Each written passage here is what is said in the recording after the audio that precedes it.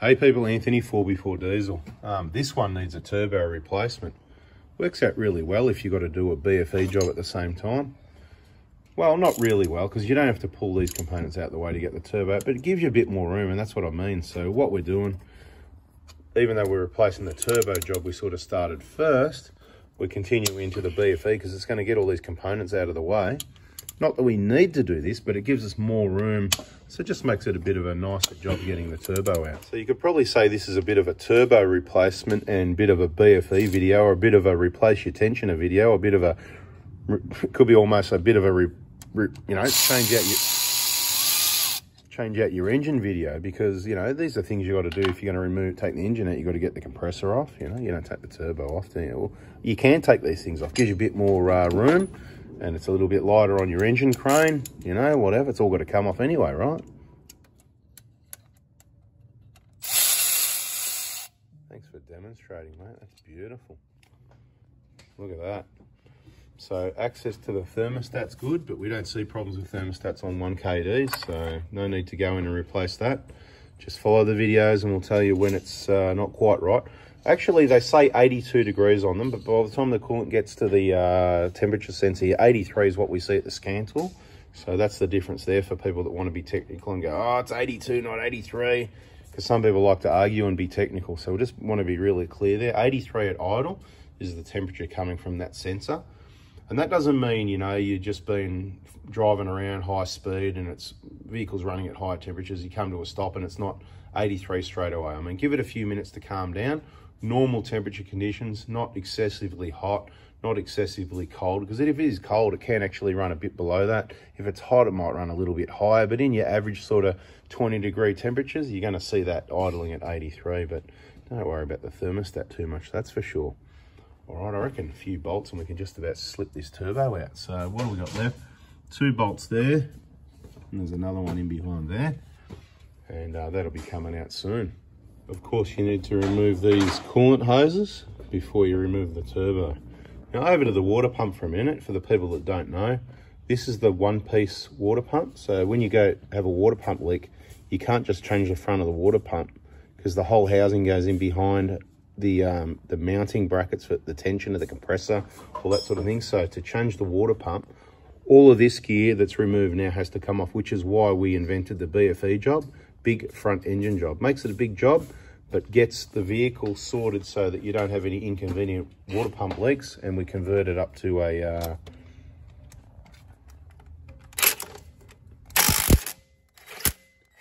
we convert it to a two-piece pump so that you know at a later date if it was to leak you can actually replace it but you should be doing the BFE every 150k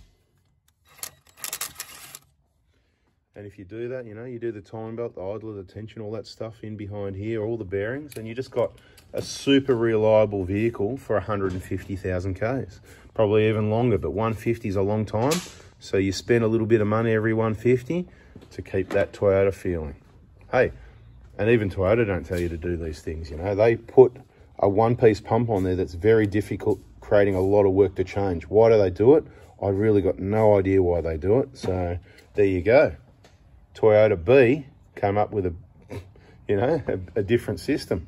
Another really important random thing I th think I should talk about now, these EGR coolers. One of our workshop partners has had two of them with internal leaks. So he's either just lucky or, you know, whatever. So it's something you really need to be careful of because we've had one vehicle we just replaced an engine on that had an internal leak. So that's the only one we know of. I think I've heard of maybe one or two before, but I don't actually know directly 100%. So, so uh, hearing of a couple, yeah, it doesn't mean too much. I kind of go, yeah, nah, maybe. This 100% from the client, he had an internal leak. It used all the coolant, cooked the engine 120 odd degrees. Um, now we've got a workshop partner that's had two with internal leaks. So we need to keep an eye out for that. Let's get back to that in a minute because this is looking exciting. Not quite yet. We've got to get that turbo off in a minute.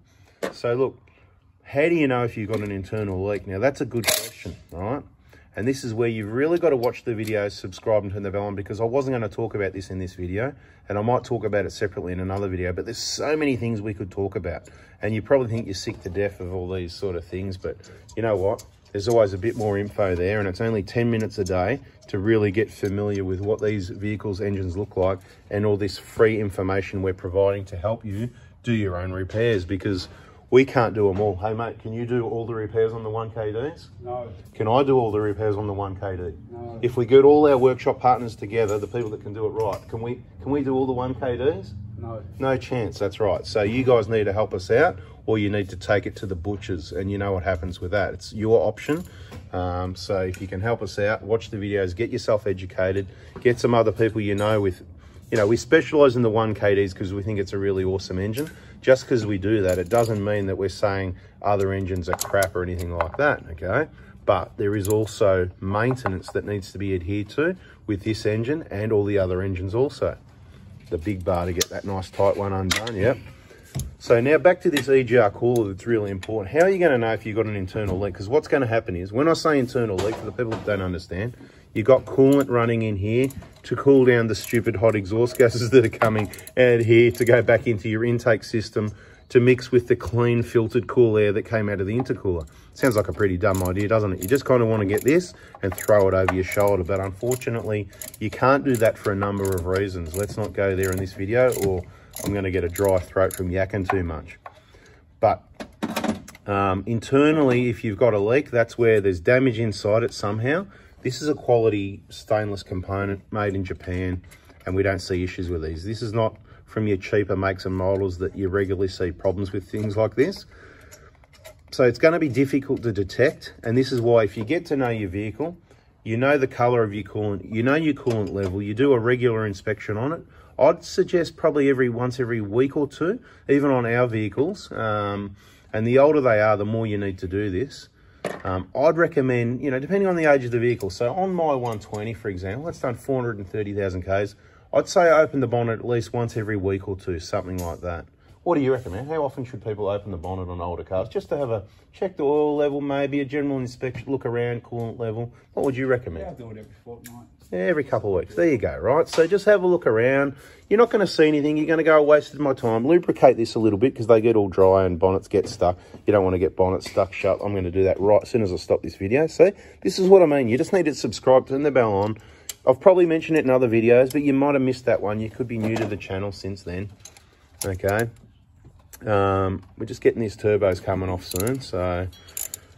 But the EGR cooler, so the way you would know is, if you've got absolutely no... So what are the coolant leaks? Let's talk about the 1KD for a minute. Let's not talk about the V6, because that's got a few more coolant leaks, but... Um, the typical coolant leaks on a 1KD for this video. We'll stick with 1KD. There'll be more videos on the V6, the petrol V6 coming soon, so subscribe, turn the bell on.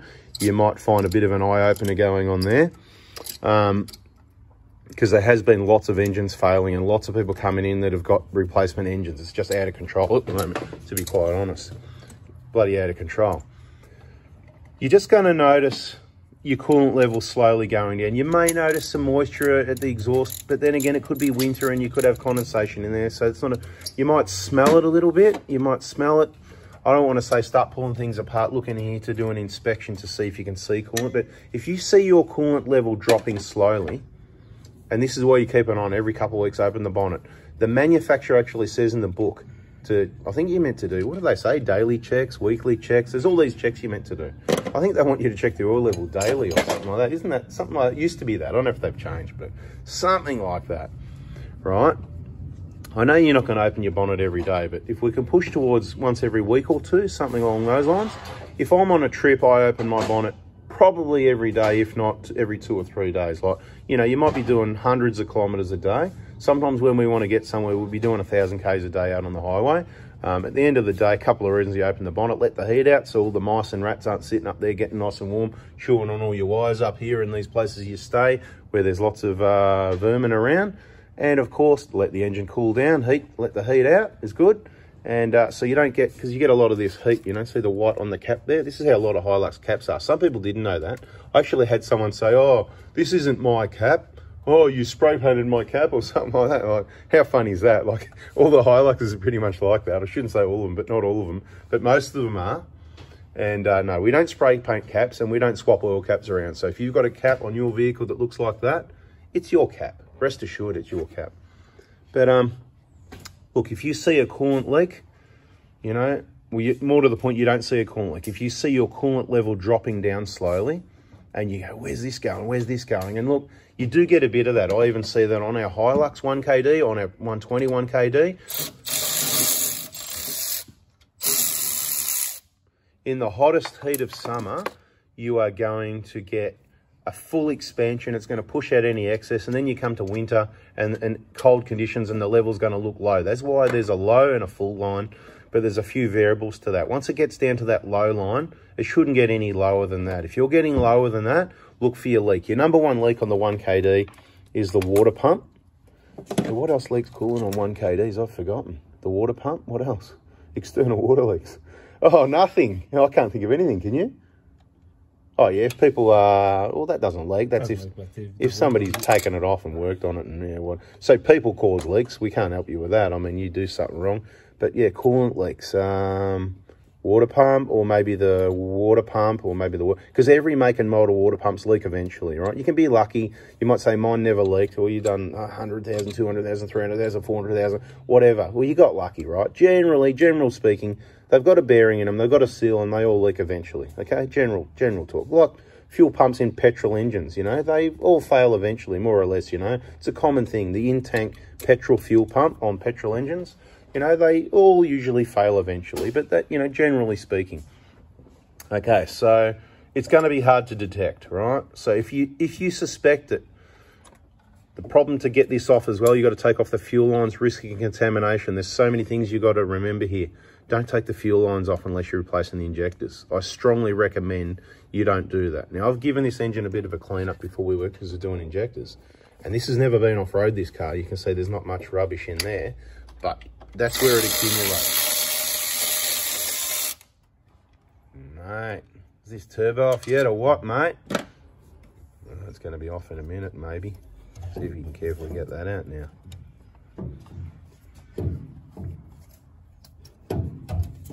Oh, yeah. Here comes the turbo, look at that.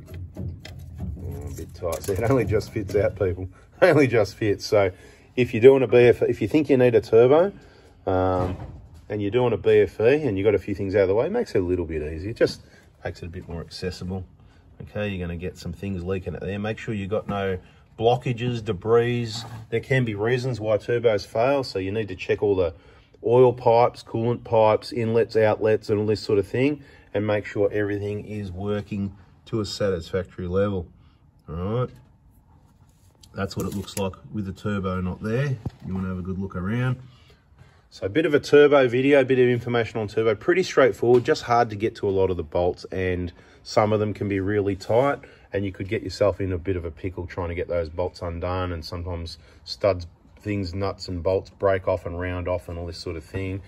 Turbo jobs, you know, that's why we, there's no fixed price. It's, well, you know, it's going to be, you know, it's going to be thereabouts. And if there's dramas, obviously it can add a bit more to that luckily we keep all the studs and nuts and turbos and everything in stock. So this job wasn't planned as a turbo. It just came in and turned out to be a turbo as well because it had the police followed it in. Anyway, bada bing. I reckon I've talked enough. I reckon we've educated you guys on a little bit of other information here. It's just another one piece of that million piece jigsaw puzzle. I think I've yacked enough. Bada bing, bada boom. There could be more videos on this engine yet. So subscribe, turn the bell on right now if you want. If you think it's worth it, getting yourself educated to save yourself money, learn about your vehicle, keep it reliable, save some money, do it yourself, make sure it's done right. Thanks for watching. See ya.